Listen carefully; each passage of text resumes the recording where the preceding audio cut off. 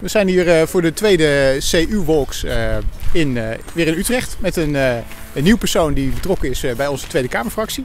Tenminste, die betrokken wil worden. Want Mirjam, jij bent kandidaat voor de Tweede Kamer.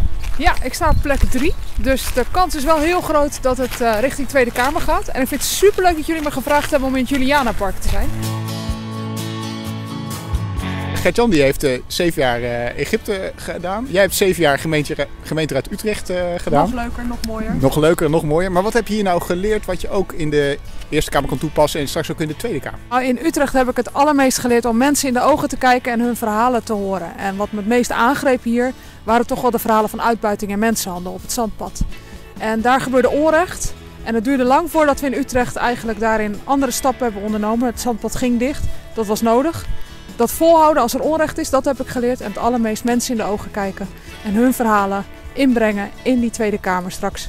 En eerder in de gemeenteraad. De vraag waarmee onze vorige video afsloot uh, van Herman Smits was: uh, ja, hoe bewaar je nou ook in alle hectiek van het politieke leven toch nog een beetje je rust? Hoe, hoe blijf je nou ook een beetje de Utrechtse Mirjam? Ja, wel een goede vraag van Herman en ook wel confronterend, want eigenlijk is het leven wel heel veel hectiek, zeker in campagnetijd. Maar met de kinderen buiten zijn, dat vind ik wel heerlijk. In de afgelopen weken hebben we kunnen schaatsen. Dat was natuurlijk heel gaaf en lekker gewandeld. Uh, maar eigenlijk zou het wel meer moeten.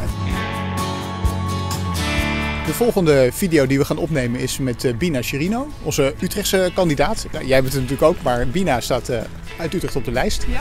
Heb jij een vraag die je aan haar zou willen stellen? Bina, wat gaaf dat jij kandidaat staat als jongere uit deze prachtige studentenstad. Ik hoop eigenlijk gewoon dat je door al die studenten met voorkeur verkozen wordt in de Tweede Kamer. Dat we daardoor een negende zetel hebben, je begrijpt. En Bina, wat zou dan het eerste zijn dat je voor al die Utrechtse jongeren gaat bereiken?